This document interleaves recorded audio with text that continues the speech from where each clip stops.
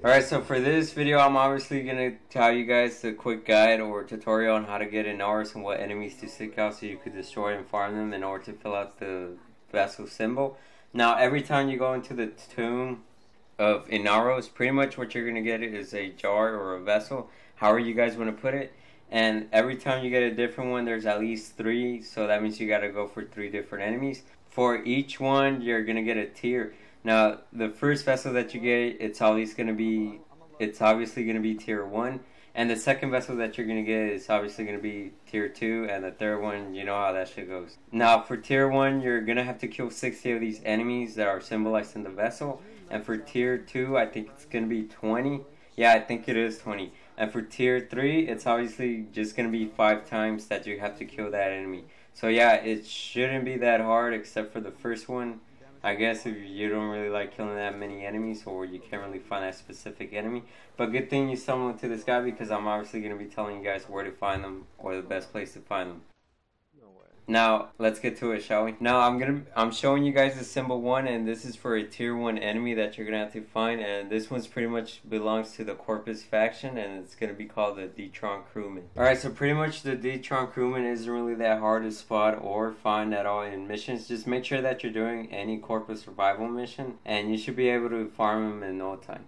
Now, the second symbol that I'm showing you guys right now on the screen, it, this one's pretty much an infested enemy, and it's also known as a volatile runner. Alright, so just like the Detron crewman, the volatile runner isn't really going to be that hard for you guys to find, so simply just do an ODD or an ODS, and you should be able to kill a lot of them in no time, and you should be able to reach that 60 kill count in no time as well. Alright, last but not least, the symbol that I'm showing you guys on the screen is going to be pretty much the Seeker from the Grineer faction, and all you guys ha- have to do in order to farm this enemy type is well, me and my friends did is we went to the planet known as Ceres, and then we did the survival mission. And these guys don't start popping on until the 10 minute mark.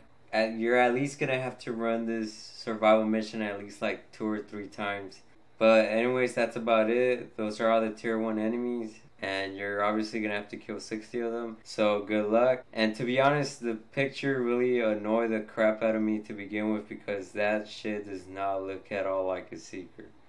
So if you guys got the symbol that I'm showing you on the screen right now, then that means that pretty much you're going to have to farm for the new enemy that was introduced along with Inaros in 18.5. And it's pretty much called the Hyekka Master. Now, what I did, no, this isn't what I did because I didn't really get this enemy type in my vessel. But if you guys did get it, what you guys want to do is you want to head on over to the planet known as Ceres and you want to do an interception mission known as Draco. Anyways, they start appearing at round two, so you want to stick until round four at least if you got a good team. I don't know how your playstyle is, or you could just join with randoms. There's always random people playing this mission. And yeah, that's about it. Uh, if you guys get this symbol on your vessel and it looks something like this, like I'm showing you right now on the screen, then pretty much it's going to be a brood mother, and this is an enemy that belongs to the faction known as the Infestation. And pretty much what you guys want to be doing is you want to go ahead and join or do a ODD or an ODS. And let me tell you something about these enemies. They're really not that rare to spot or rare to spawn in infestation games. So it shouldn't take you guys that long to get them. Last but not least is going to be the Railgun Moa. That's if you get the symbol that I'm showing you on the screen as of right now. And pretty much what you guys can do is you can go to the planet known as Jupiter and you could do a survival mission named Elara. Pretty much they won't start spawning until after you get past the point of the 10 minute mark. So yeah guys, at least it's not really going to be that difficult. Alright, so this symbol is pretty much going to be for the last tier, which is tier 3, and it's going to be uh, Juggernaut. So pretty much what you guys want to do is you want to go to the planet known as Eris, and you want to do any exterminate mission or any infestation mission that can spawn a Juggernaut. So that's about it for this enemy, and hopefully this helps you guys out.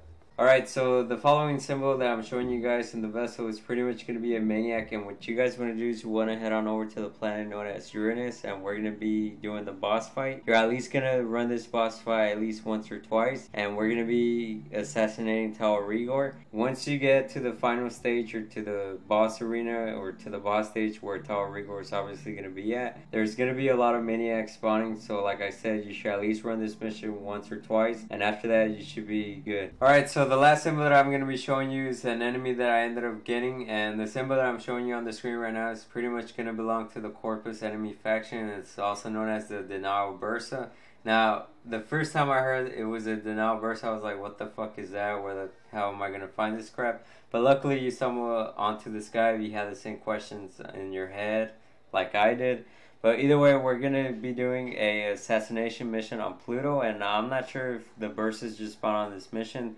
They could pretty much spawn in any of them, to be honest. I haven't really tried it, but just for peep sakes, we're just gonna go ahead and assassinate Ambulas. Now, you could pretty much kill him before, after setting off the alarms. What you guys want to do is you want to make sure you alert the enemies and one of them sees you and then they run to the terminal and then they set off the alarms. Now, the reason that you have to allow the enemy to set off the alarm is for Lotus is pretty much going to give you a warning or a message saying that reinforcements incoming, there's a bursa heading your way. Pretty much you're to get at least like four different bursas, but make sure when you see the denial bursa, you kill that shit as soon as possible. And you want to make sure your teammates don't hack the terminals and they stick around. Another thing I, w- I forgot to tell you guys at the beginning of this is make sure you're doing this with the squad that knows that you're farming for the denial bursas or make sure you're doing this solo you could do it solo as well. Also because if you're gonna be playing with randoms or in public game lobby then pretty much they're just gonna fuck your shit up. So after that where was i? Oh yeah about the terminals. Make sure you don't hack the terminals unless they lock you in or lock you out. Unless the little nod turns goes from white to yellow then you could hack it. Because if it's on yellow and I know it's gonna happen, then pretty much that means that the bursas aren't gonna be able to get to the area or in the room that you're camping in. And you guys want to stay put in one room because if you just go on and about, the game's actually gonna spawn the bursas somewhere else, and you're never gonna actually see it.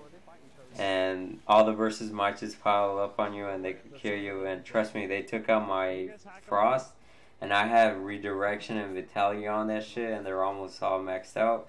So trust me when I say that they can one shot your ass.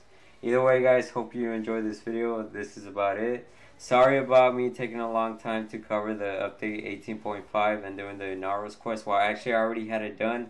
It's just that I ended up getting Ratchet and Clank and I'd rather just play something new. Not that I'm saying that Warframe is getting old and boring. It's not. It's always refreshing. It, I enjoy playing the crap out of it. But yeah, I just wanted to finish making a walkthrough for Ratchet and Clank. That's about it. Thanks for watching this guy, guys. Hopefully you enjoyed it. Hopefully it helped you out. And I'm out.